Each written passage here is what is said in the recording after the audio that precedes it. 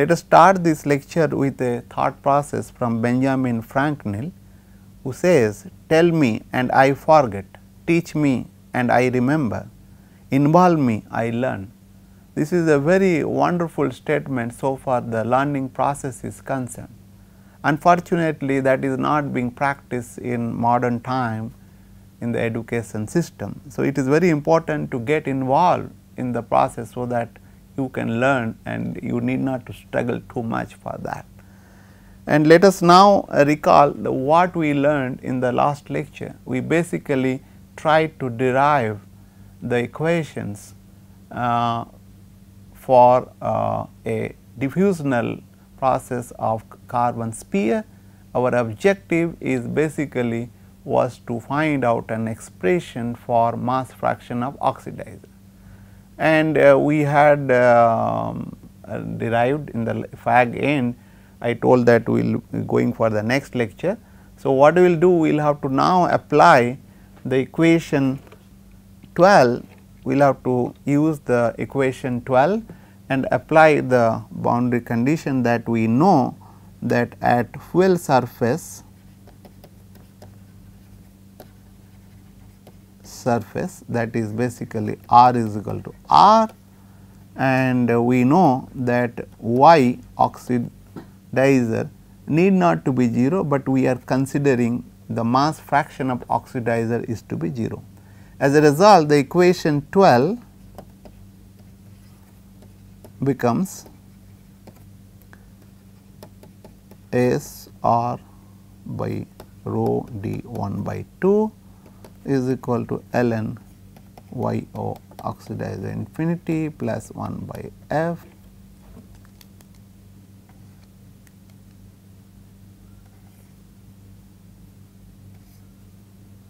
and this is just 1 by f because y ox is 0. So, then uh, if you look at I can simplify and write it down as S r by rho d 1 by 2. If you look at is basically cancel it out here provided if I multiplied with this f here right and then uh, about this one.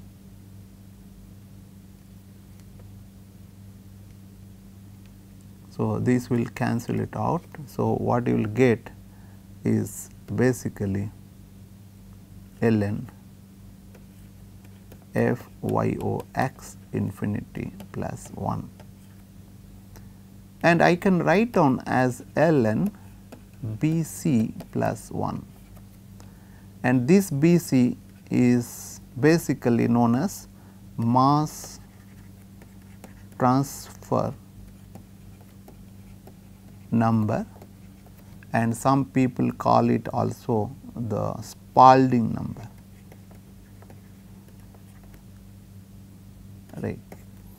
And um, keep in mind that this is plays a very important in this case B c happens to be what f y o x infinity this is the B c what we have looked at it basically this portion you know.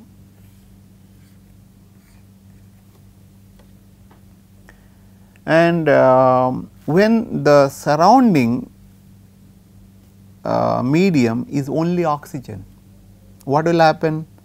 The if surrounding medium is only oxygen, basically uh,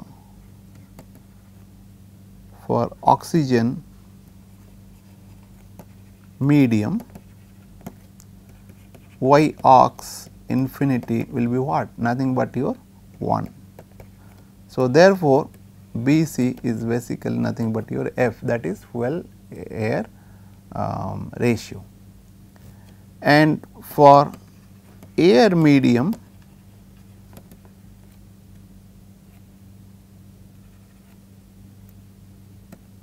y oxygen infinity is nothing but your 0.232. So, therefore, B c is nothing but your 0.232 F. So, uh, this is uh, we should keep in mind we are basically now considering the air as a surrounding medium. And we have already uh, seen in uh, earlier that ln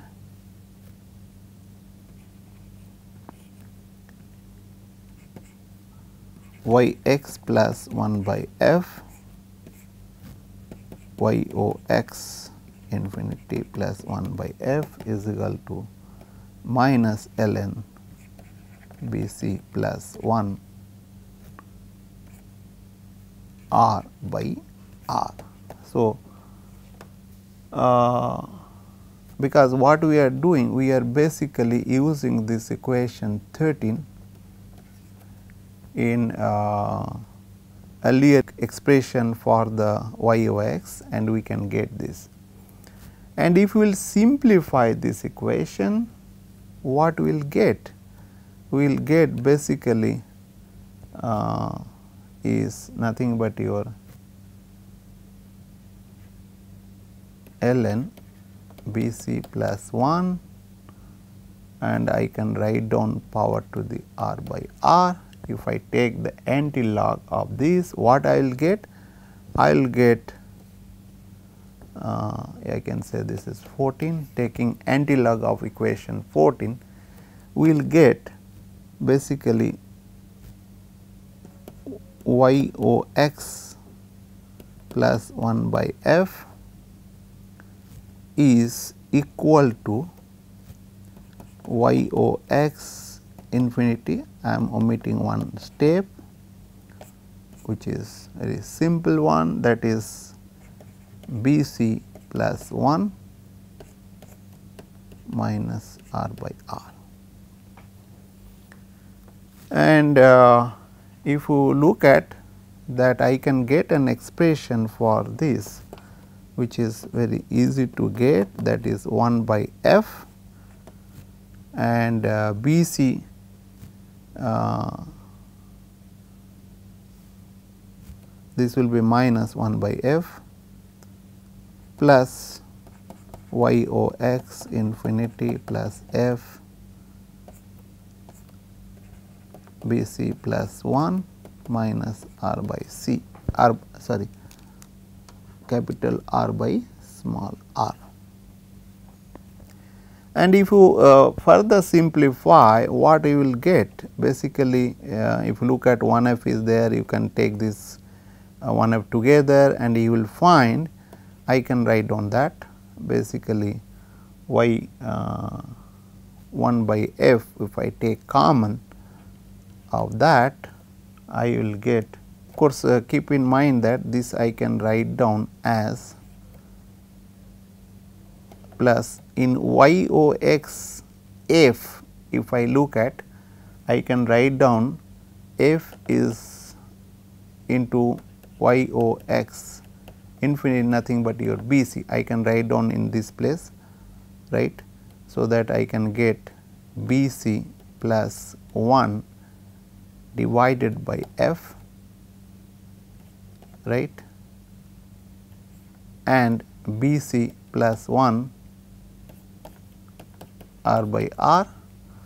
So, uh, that becomes basically if I take it out this will be y o x is nothing but your b c plus 1 1 minus capital R by R minus 1 divided by f. So, this is your expression for y o x you can see this is basically the equation 15. So, now y o x is a function of this mass transfer number and also the fuel and oxidizer ratio and which is a function of r.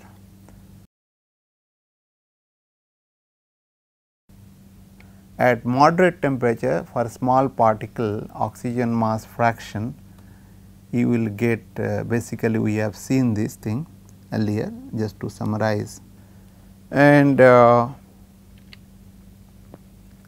and this BC is the mass transfer number I have already uh, talked about it and derived it. So, uh, I can also get a expression y o x is B c plus 1 1 minus r by r minus 1 with F.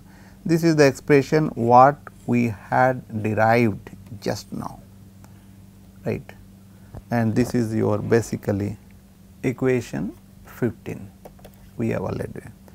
Now, if you uh, look at uh, basically various fuels like aluminum and boron like carbon of course, we have considered. So, you will find the different boiling point of the fuel I have given here and different mass fraction of the fuel will lead to various BC. Basically, this is about uh, uh, about the mass transfer of oxygen and air. And uh, if you consider the burning uh, time of the solid right which will uh, take care of that and then uh, you will find that uh, if you will uh, now plot this thing you will get a expression basically oxygen which is at the 0 here or a very small values and then it changes with respect to time and then it reaches asymptotic values at infinity. It is remaining constant. And of course, the temperature and then uh, for different things we can get later on, but what we will do now, we will basically look at uh, about the carbon burning rate.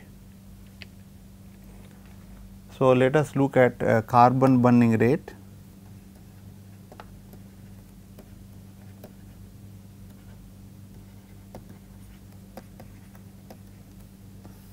That means, if I take a sphere and then we will have to find out uh,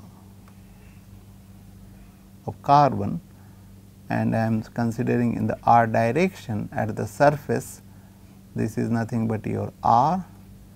So, we are considering that how much of the carbon particle uh, is getting consumed this is basically carbon sphere we are considering and this can be any other uh, fuel as a matter of fact, but keep in mind that this need not to be pyrolyzing. This is basically a non-pyrolyzing fuel.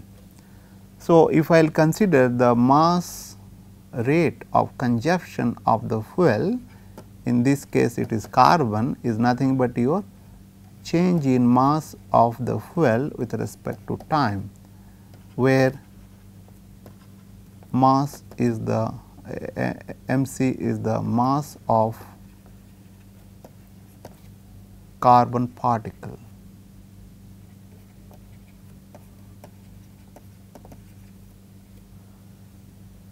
And that uh, has to be evaluated um, uh, as uh, m c is nothing but your rho c that is the density of carbon and the volume of carbon this is basically density of carbon. Carbon is basically fuel sphere and Vc is the volume of fuel sphere. What we are considering that I can write down as rho c pi d q by 6 and d d is basically the diameter of sphere. At any instant of time that means this will be changing as uh, it get consumed so, it will be changing. Now, we know that uh, earlier that we have derived as derived earlier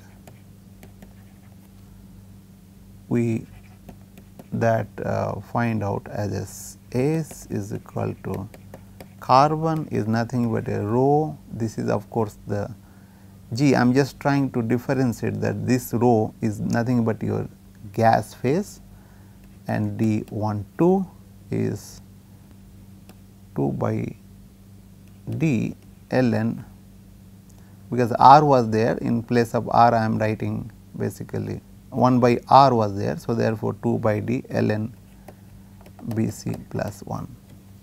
So, uh, now if you look at what is this m dot c, m dot c is nothing but your m dot c into A c that is the carbon uh, surface area which is nothing but your rho z d 1 2 and uh, 2 by d ln b c plus 1 into area, area will be basically 4 pi r square it is d by 2 whole square. So, this will cancel it out and uh, if you look at that you will get uh, is basically you will get this d will cancel it out you will get rho g d 1 by 2 4 pi d ln b c plus 1. So, we know that uh, basically m c is nothing but your. And if I look at this is equation I can say that this is a new equation number. I am putting it here 1 and this may be the 2 equation number and this may be 3. So, therefore, let us look at now the equation 1 and then put this equation 1 a here and we will get m dot c by using equation 1 and 1 a we will get m c is m dot c is nothing but your rho c pi 3 by 6 d d square by dt which is uh, basically equation 4 I can say. And that uh, is nothing but by using uh, by using equation 3 and 4 we can get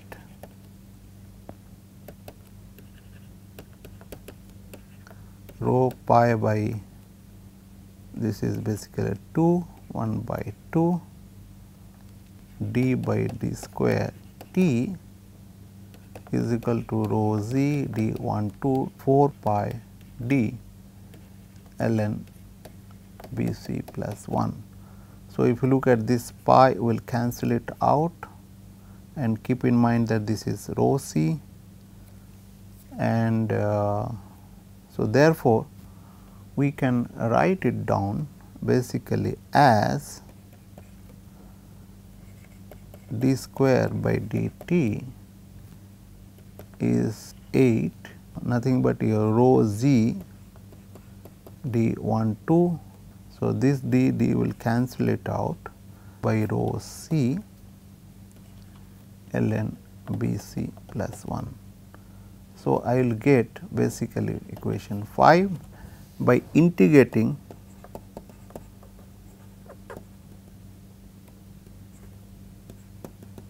equation 5 we will get is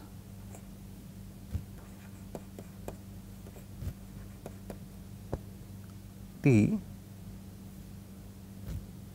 is equal to this is 0 to t and this is dt 0 to t 8 rho z d 1 2 by rho c ln b c plus 1 and dt. So, uh, if look at uh, we will use this is basically equation C. Uh, we know that uh, initial condition at uh, t is equal to 0, the d will be d naught that is your initial diameter of sphere. So, therefore, when you will get this one you will uh, basically get that uh, as d square you can say the d square is equal to I can say this is as a constant this I can take as a constant Kc k c k c t plus this is another constant. So, then implies that d naught square is equal to basically c and uh, therefore, you will get is d square law d naught square t is equal to d naught square minus k c t.